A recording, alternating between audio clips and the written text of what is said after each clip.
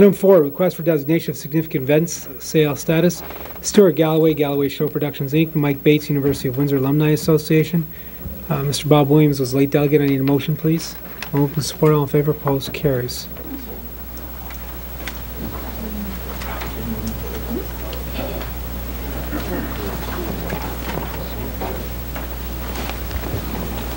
Stuart, the Alumni Association's involvement is what? Yes, they're a sponsor of the event. Mm, and they get, they get proceeds? They receive proceeds? Yes, they do.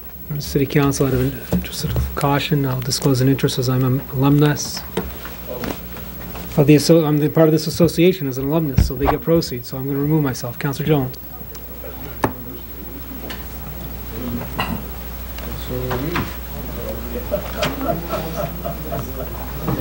Anybody not going to the university?